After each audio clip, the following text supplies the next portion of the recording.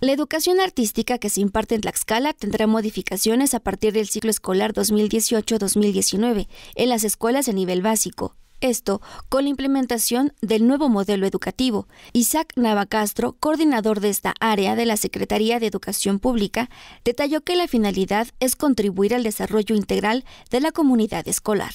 Tiene que ver con la formación académica, el segundo tiene que ver con el desarrollo personal y social y el tercero con la autonomía curricular. En este caso la educación artística sufre un replanteamiento a nivel conceptual. De educación artística pasa a ser artes y se va a insertar en el segundo componente curricular y ahí se van a trabajar áreas, conjuntamente se va a trabajar artes, educación socioemocional y educación física, sería el segundo componente y también va a haber mucha relación mucha vinculación con el tercer componente de autonomía curricular a través del segundo ámbito. El segundo ámbito es el de potenciar el desarrollo personal y social.